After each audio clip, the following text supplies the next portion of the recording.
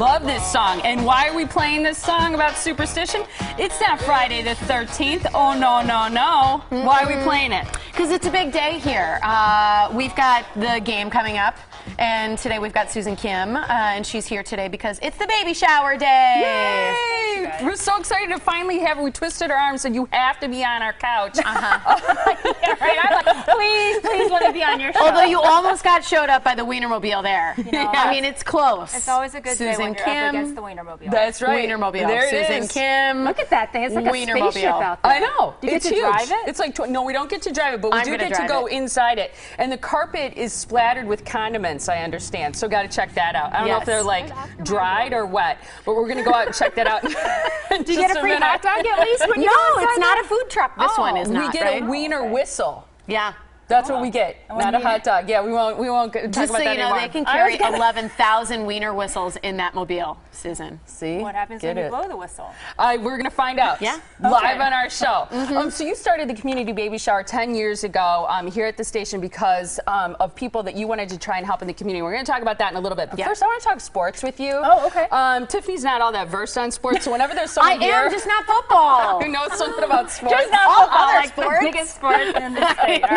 Exactly. I love it. Um, but I love that, that you like sports, but you've got kind of a split household because you're this Packers fan. You've yes. lived here uh, ever since you've lived here, um, but then your husband is a Bengals fan. So how do you work that out at home? Well, he's an obsessed Bengals fan, actually. Oh, he is? Oh my gosh, it's like crazy. I don't know, but um, yeah, here he's brainwashed our children, my three kids and my husband, because the You don't even have one of the children on your side? Well, I, the girls are kind of 50-50, but my little guy Alex, he is a complete Bengals fan. He won't no even way. wear Packers stuff to Packers Day at school. He shows Wow. up in a Bengals jersey. You know, my son's a Bears fan. I hate I, people don't like when I talk about being a Bears fan. I totally understand. I'm a Packers fan now, while they're still in the in the, the hunt. But but you um, root for the Bears too? I root for the Bears too. I'm a huge Bears fan. I did not know this about you. I don't think. Oh my gosh. But I have both of my daughters now are Packers fans, Okay, and so well, he's good. the only Bears fan in the family, and I think that he feels like very conflicted about it. Well, so are there big fights among the kids? They don't because the girls aren't that into football, Oh, okay. you know. So, Alright. but he's now, you know, he's he feels all this pressure. He's divided.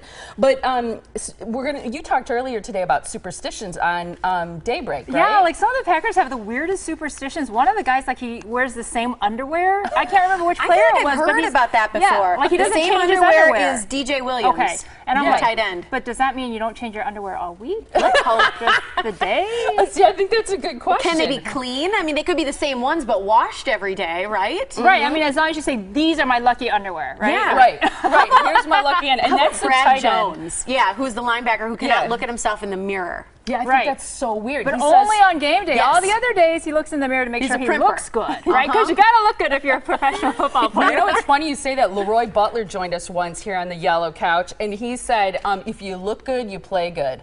Yeah, you got to feel good on the inside. Well, Yeah. who is it too? Heidi Klum said that she always has really sexy lingerie on because if you feel good on the inside, then you look good on the outside. Well, she's a Yeah. Victoria's Secret model Well, too. mean that so too, right? let's. I mean, let's be. She might have been paid millions of dollars to say that. oh, well, that's true too. But it And, and Mike right? Neal has this thing where he jumps in the steam room, then he gets in a cold tub, then he gets in the hot tub, then he gets in the cold tub, then he takes a shower. Le- and, and everything up until the last minute before the game, back and forth, hot, cold, hot, cold, hot, cold. Well, and in the locker room, the guys are like, "Come on already, right?" I mean, Right. because he likes Like, to wait till the last minute. Like we're running out on the field right now. How about Mason Crosby? Did you guys hear about him? Yeah, what was he his? Was that the shoe? Yeah, tie the left, tie right. No, well, put the left on, then put the right on, and then tie the left one. You can't put the left on and tie it at the No, same no, time no. because that's bad luck. and then they lose. right, and then he hasn't been kicking very well, so I wonder if he did the right shoe and then the Maybe left shoe. Maybe he shoe. should mix ah. it up. Well, we put out on Facebook today. Here's our Facebook question today. Okay. It's do you have any game day superstitions?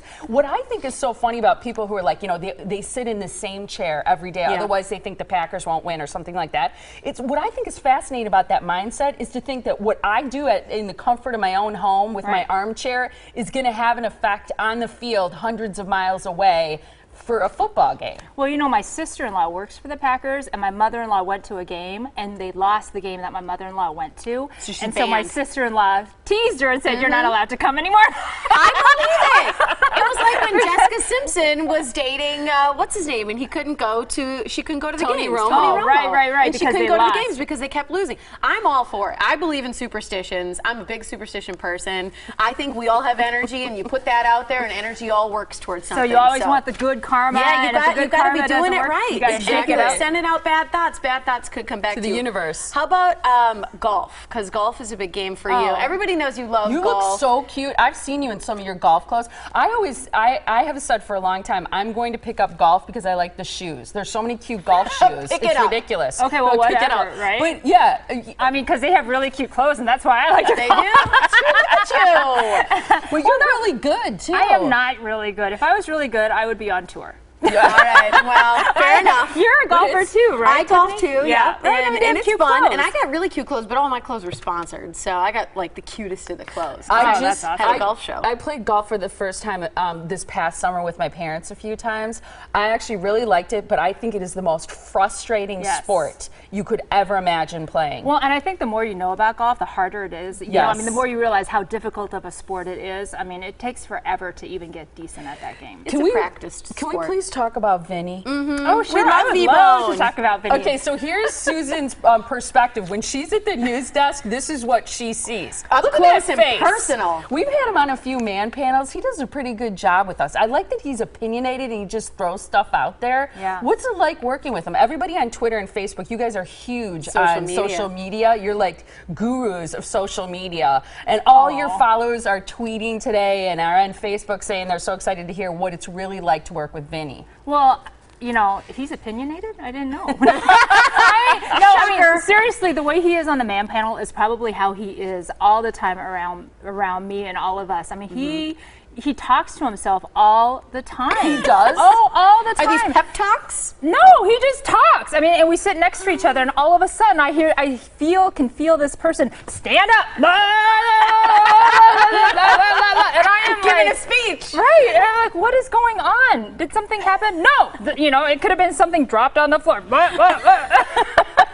I just everything, and it could be a movie line. He's really, he's really into movies. I mean, he can remember movie lines from like way back when, Like every Christmas men. vacation, Yes. fugitive, whatever. Mm-hmm. Just stand up one day, just. Uh, uh, s- Recites the entire fugitive movie. I mean, he's got like every single line memorized, and I, and I just keep da da da da da. Just another day. Oh, I know. The way you the way you tolerate him sometimes cracks me up. And here's the thing. That's why the is, chemistry is so good. when he's in a bad mood, you can sniff it like before he even gets in the studio. I think. Oh, His- really? the energy oh, so you know him him. well. Oh, too. the yeah. proceeds. Right. yes. Oh, but to uh-huh. know him is to love him. I mean, he is absolutely very wonderful and does a lot for our community. Yeah. So it's it's all in good fun. But how you see him here on your panel and on television, you know, when we have those moments, is really how he is, and Yeah. I think that's why people love him. yeah, he's know? a genuine guy. We like and that funny. too. Yeah. We're going to talk about the baby shower when you come back a little bit later. So thanks for chatting with us. Oh, thanks so much for So having awesome. me. and you are can so come out nice. with us Thank to, you. to go inside the Wienermobile. if we'll you get you a wiener whistle. We'll give you a wiener whistle, All right, Susan. I look forward to it. Hey, will you come back now that you've had this experience? Did it go okay for you? Once you've had the, you like the, the Well, I moment mean, on the couch. You guys are the darlings of morning television, so anytime I'd love to hang out. we love you. Uh-huh. I know. She Love tweeted that today. I already retweeted it. Thank you so much. Keep